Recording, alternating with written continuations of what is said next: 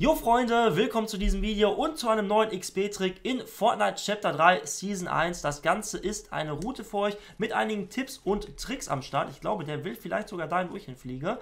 Und ähm, ja, ich zeige euch auf jeden Fall die Route und hier, wie ihr wirklich schnell leveln könnt im Battle Pass. Und bevor es losgeht, falls ihr noch Bock auf ein Gaming-Mauspad habt, dann schaut doch mal bei meinem Partner Kata Games vorbei. Die haben wirklich extremst heftige Mauspads. Hier alle in XL-Größen. Einmal 90 x 40 oder auch hier wirklich in Super XL 120 mal 60 und äh, wirklich super Eigenschaften hier, auch perfekte Gleiteigenschaften, kann ich bestätigen. Falls ihr euch was bestellt, ihr habt kostenlosen Versand, ihr könnt das sogar gratis retournieren und äh, ja, mit meinem Code TOBI10 spart ihr sogar noch 10% auf die komplette Bestellung. Also falls ihr Interesse habt, checkt das gerne mal aus, ich packe den Link in die Beschreibung und dann würde ich sagen, geht's weiter mit dem Video. Was wir jetzt machen, wir landen erstmal bei Oberknackers Hütte. Der eine oder andere von euch wird die wahrscheinlich noch kennen aus früheren Seasons, weil da kann man erstmal extremst gut looten und das ist der beste und nahegelegenste Spot für die Methode, die ich gerade hier mache. Ich markiere es auch gleich für euch nochmal, aber im ersten Fall geht erstmal hier runter, landet direkt hier vor dem Haus. Hier liegen manchmal Waffen, diesmal nicht, ist egal. Wir gönnen uns auf jeden Fall mal die Materialien. Und dann direkt hier links und rechts rein, weil meistens liegen hier noch Waffen rum. Und das macht wirklich schnell, weil hier ist öfter mal viel los. Also hier landen ab und zu mal so noch ein paar Spieler. Ansonsten sind hier relativ viele Bots unterwegs. Ist irgendwie wie so eine Botfabrik. Da seht ihr schon, da ist irgendwie der erste schon wieder unterwegs. Ich glaube, den gönne ich mir mal direkt hier, bevor der hier reinläuft. So, da ist er schon. Einmal weg mit dir. So, zack. Hello, my dude. Und ähm, ja, da müsst ihr auf jeden Fall aufpassen. Hier kommen öfter mal ein paar Leute rein. So, dann gönnen wir uns auf jeden Fall die Truhen hier an dem Baum. Ab und zu steht hier eine Truhe, ab und zu zwei, ab und zu drei. Ihr könnt aber auch Pech haben, dass hier mal keine steht. Hatte ich aber bisher wirklich erst einmal, dass im kompletten Haus nichts war, was extrem komisch war, weil das ist eigentlich nie der Fall. Für jede Truhe kriegt ihr natürlich hier 165 ähm, XP. Vergesst übrigens die Munitionskiste nicht. Da gibt es nochmal 100 XP für und die brauchen wir natürlich, die ganzen XP, hier auch nochmal und die Munition brauchen wir auch. Dann gehen wir mal hier kurz hinter gucken, da ist ab und zu auch was, diesmal eine Angel, hier ist ab und zu was hinter, eine Pistole brauchen wir nicht, aber Munition nehmen wir uns mit. Und hier oben drauf sind auch manchmal ein bis zwei Kisten, in der Regel hier rechts oder links. Müsst ihr ein bisschen den Winkel abtimen, dass ihr das trefft. So, das nehmen wir uns auch mit hier.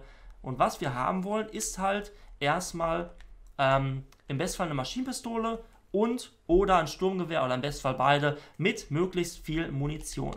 Ich habe jetzt noch nicht ganz so viel Munition, also das reicht mir noch nicht hier. Ich hätte gerne noch mehr beim Sturmgewehr. Und bei der Maschinenpistole, das hätte ich auch liegen lassen können. Ich dachte, das wäre eine Maschinenpistole, eine grüne. So, dann geht ihr am besten nochmal hier raus einfach und hier ist auch nochmal direkt ein kleines Häuschen. Dort könnt ihr auch nochmal ein paar XP sammeln. In der Einfall hier nochmal eine Munitionskiste, gibt nochmal 100. Dann kriegt ihr hier nochmal bei den Fässern jeweils, ich glaube, 65.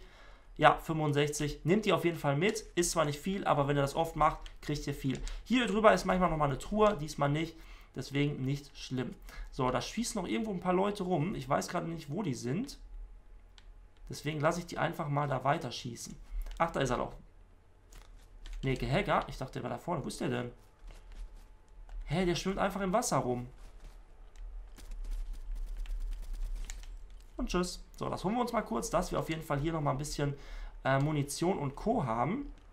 Wobei das, glaube ich, nicht viel sein wird. Aber ist egal. Alles an äh, Material, Munition können wir auf jeden Fall gebrauchen. So, das sollte auf jeden Fall jetzt reichen. Jetzt gehen wir hier zurück. Und vor der Hütte finden wir immer hier so Quartz, die brauchen wir. Ich markiere es mal euch, dass ihr überhaupt wisst, wo ich überhaupt hier bin. So, ich bin hier bei Oberknackers Hütte, die ist genau an diesem Standort hier. Und was wir jetzt machen, wir holen uns einen Quartz und fahren jetzt einfach mal hier um das Haus einmal rum. So, macht das wie ich gerne hier. Einfach rumfahren. Zack, einmal hier Munition nochmal einsammeln, um den See hier rum. Und hinter diesem kleinen Hügel finden wir noch eine kleine andere Hütte. Und in dieser Hütte finden wir zu 100% immer ein Lama. Da vorne steht es auch schon hinter diesem Streu, äh, Heu, Streu. dann läuft es hier rein und meistens läuft es dann halt direkt hier rechts raus. Könnt ihr euch dran, äh, ja, orientieren und dann könnt ihr euch das direkt abholen, äh, ab, das Lama, und hier einmal direkt killen. So, Passt auf jeden Fall auf, es ist mir auch schon öfter passiert, dass das halt direkt ähm, so viel läuft und dass ich so oft daneben schieße, dass ich das einfach nicht killen kann. Ihr könnt es natürlich auch einbauen, aber ich bin jetzt nicht der Beste hier im Einbauen, deswegen äh, mache ich das einfach mal so. Und das sollte eigentlich dann klar gehen, Passt nur auf, wenn es dann irgendwie blau wird, ne? Jetzt wird es nämlich blau und jetzt komme ich auch in Panik, aber das Ganze hat funktioniert. Und ihr seht schon, ich kriege direkt mal 8000 XP dazu und 425 für Lama und nochmal Gegner an Schaden, nochmal 8000 XP. Also mal eben hier 17.000 XP abgegrast hier und was das Lama alles fallen lässt, erstmal sehr nice Sachen hier. Ähm, ist natürlich ein perfekter Start ja eigentlich für ein Spiel. Hier mit Lama, ich würde sagen, ich gönne mir auf jeden Fall mal die. Dann gönne ich mir nochmal die hier, dass wir ein bisschen was haben. Munition haben wir auch genug. Was hat der noch hier fallen gelassen? Stein. Das brauchen wir auch noch. Und jetzt haben wir, glaube ich, alles hier eingesammelt. So, und was wir jetzt machen, ganz wichtig, wir haben jetzt hier extrem viel Holz, extrem viel Stein und extrem viel Metall. Jetzt gönnen wir uns einfach nochmal hier ein Quad. Ich kann es nochmal markieren für euch, bevor ich hier drauf gehe. Ich weiß, hier ist die Oberknackers Hütte. Jetzt bin ich nach hier rüber. Und was wir jetzt machen, wir fahren jetzt hier zum Log Jam Sägewerk rüber. Oder Log Jam Lumber Yard heißt das ja jetzt. So, das ist einmal da oben. Habe ich mir markiert. Einmal um die Hütte hier rum. Einmal hier hoch. Da schießt schon wieder einer auf mich. Digga, was ist mit dir? Einmal weg. Auf den habe ich jetzt gar keinen Bock, weil der Sturm kommt. Auch müsst ihr mal ein bisschen gucken, ob das passt mit dem Sturm oder nicht. Ihr könnt es theoretisch an jedem Ort machen, hier den Trick, den ich euch zeige. Aber bei dem Sägewerk ist es wirklich am besten, weil hier findet ihr wirklich mit die meiste Anzahl an Truhen in komplett Fortnite. Und ähm, ich glaube 30 bis 40 sind hier teilweise. Und auch übrigens Munitionskisten. Aber sind natürlich schon relativ viele Sachen auf. Davon liegt noch ein bisschen was. Müssen wir uns gerade nicht holen. Ich möchte euch nämlich den Trick zeigen. Die machen wir auf jeden Fall nochmal auf. Und dann könnt ihr hier die ganzen Truhen aufmachen, Munitionskisten und nochmal weiter hier ordentlich XP sammeln. Und dann kommen wir auch direkt zum Trick. Und der geht folglich mit den Truhen. So, ihr habt jetzt extremst viel Materialien. So, was ihr jetzt macht, ihr geht in eure äh, Aufträge rein, bei den Meilensteinen. Und ihr habt ja gerade gesehen, ich habe schon hier äh, das eine gekriegt. Ähm, ich guck mal kurz, wo ist es hier? Baue Materialien ab für das Lama, da habe ich 1500 direkt bekommen. 2500 ist jede Stage. Dann habe ich Gegner Schaden zugefügt, auch durch das Lama, zählt auch komischerweise. Äh, habe ich mittlerweile auch schon Phase 7 von 20. Dann könnt ihr natürlich Eliminierung farmen, wenn ihr relativ viele Bots sind. Ich habe gerade erst zwei. Aber was jetzt wichtig ist, wir machen hier runter bei 12 von 20 Baumaterialien ab und wir machen auf rechts unten Auftrag verfolgen. So, und dann seht ihr nämlich unter der Minimap rechts habe ich 28.777 von 30.000. Ich hoffe, man sieht es jetzt trotzdem, auch wenn ich im Sturm äh, bin, wie das Ganze funktioniert. Wir machen jetzt die Tour auf, wir stellen es aber daneben und nicht direkt davor. Und dann fällt immer halt äh, einiges raus, unter anderem hier aber auch Materialien wie zum Beispiel Metall.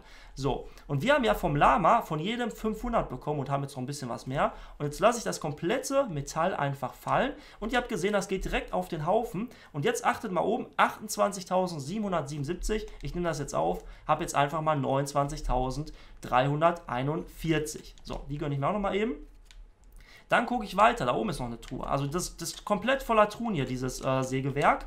So, jetzt gehe ich hier nochmal hin, stelle mich daneben, dass ich die nicht einsammle direkt. So, hier ist zum Beispiel Stein runtergefallen.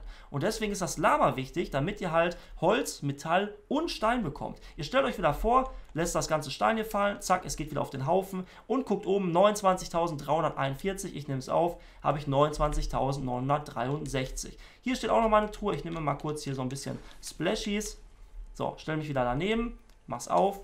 So, jetzt seht ihr, hier ist zum Beispiel Holz rausgefallen. Ne, wieder was anderes. Deswegen gehe ich mal hoch, Holz 714 fallen lassen, geht wieder auf den Hügel. Ihr seht 29.963, ich nehme auf, habe jetzt über 30.000 und direkt wieder 8.000 XP dazu bekommen. Also ich habe jetzt schon über 25.000 XP hier einfach bekommen und ich habe hier auch einen Levelaufstieg irgendwie, Level 120 jetzt, perfekt. Und so geht das immer weiter. Dann könnt ihr es zum Beispiel jetzt wieder einfach hier neu eintragen, einmal verfolgen drücken, dass das wieder angezeigt wird und dann könnt ihr einfach hier natürlich weiterlaufen und noch das ganze Sägewerk hier einfach durchgucken. Ich habe auch ehrlich gesagt keine Ahnung, wo die Truhen alle sind. Also geht einfach mal hier durch. Die sind hier echt gut verteilt. Hier sind wirklich 30 bis 40 Stück insgesamt. Natürlich dann im Gruppenkall-Modus. Aber im Einzelmodus, Solo-Modus findet ihr natürlich auch hier einiges. Deswegen lauft einfach mal hier durch. Guckt, dass ihr die ganzen Truhen findet. Da unten war auch irgendwo noch mal eine.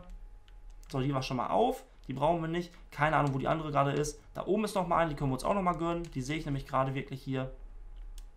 So, einmal hier drüber. Kann ich euch auch mal zeigen. Also das Ganze funktioniert durchweg. Ihr könnt es bei jeder Truhe machen, sobald ihr recht viel Muniz äh, hier äh, Holz und Co. habt. So, einmal auf. Dann liegt da jetzt wieder Metall. Ich lasse mal ganzes Metall einfach fallen.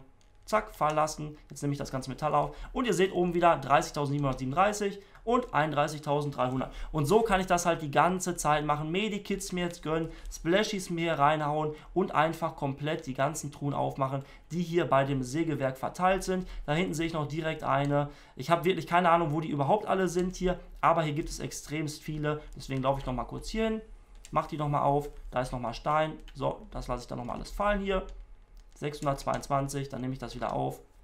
So, dann brauche ich das noch einmal machen und dann habe ich wieder 8000 XP direkt drauf. Ich weiß nicht, ob ich das jetzt noch hier groß mache oder schaffe. Das Video wird auch, glaube ich, ein bisschen zu lang. Wir sind schon mal knapp 10 Minuten, deswegen würde ich sagen, höre ich an dieser Stelle einmal auf. Und ja, so geht auf jeden Fall der Trick. So bekommt ihr sehr, sehr schnell XP, sehr schnell eure Aufträge voll und ähm, das auf jeden Fall dazu. Wenn euch das ganze Video geholfen hat und gefallen, sehr gerne Like da lassen, sehr gerne Abo da lassen und dann würde ich sagen, Freunde, bis zum nächsten Video. Haut rein und ciao.